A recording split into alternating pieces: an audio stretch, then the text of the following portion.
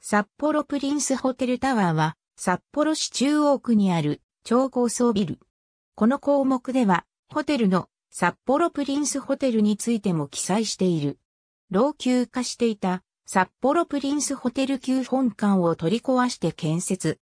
2004年に竣工したホテルは地上107メートル、28階、360度の眺望、客室数587室を備えており、ロビーは27階まで吹き抜けのアトリウムになっている。ほか、7機のシースルーエレベーターを設置しているなど、開放感がある。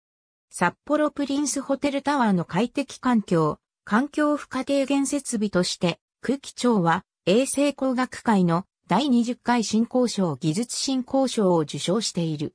札幌プリンスホテルタワーからの夜景が北海道ジャランによる札幌三大夜景に選ばれたことがある。2020年東京五輪のマラソン、競歩の選手村に選ばれている。客室レストランバーウェディング会議、宴会温泉その他2020年東京五輪のマラソン、競歩の選手村に選ばれている。選定理由は、競技の発着点の大通公園に近く、過去の国内開催五輪でグループのホテルが使われた実績があることなどから。ただ、英国の選手が食事の味などについて SNS で不満を述べた。そのツイートには、僕らは万が一にもレースの週にまともな食事は得られますか？これは食事ですか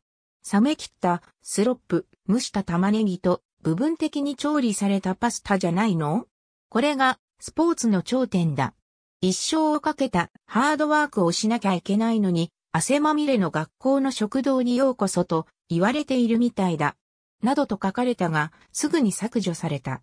国道230号沿いにあり、隣には中央区役所がある。札幌プリンスホテルに関するカテゴリー。ありがとうございます。